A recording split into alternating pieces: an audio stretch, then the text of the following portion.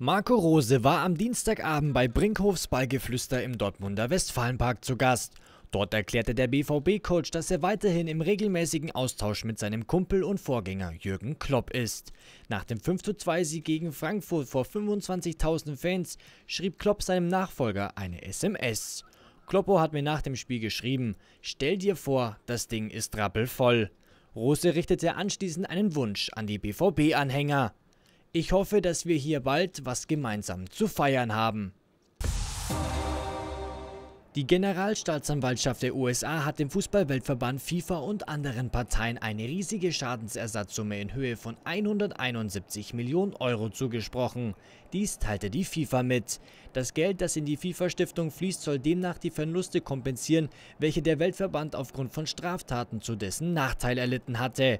Das Geld wurde laut FIFA von Bankkonten ehemaliger Funktionäre beschlagnahmt, die an langjährigen Bestechungsmodellen im Fußball beteiligt waren und dafür belangt wurden.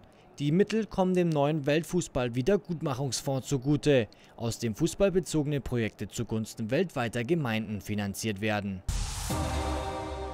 Die UEFA zeichnet das medizinische Team, das dem dänischen Nationalspieler Christian Eriksen nach seinem Herzstillstand bei der EM das Leben gerettet hatte, sowie dessen Mannschaftskollegen Simon Kier mit dem President's Award aus.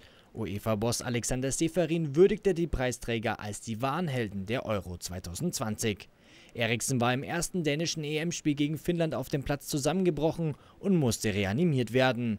Sie haben einen fantastischen Job gemacht und mir das Leben gerettet, dankte Eriksen den Ärzten in der UEFA-Mitteilung vom Dienstag.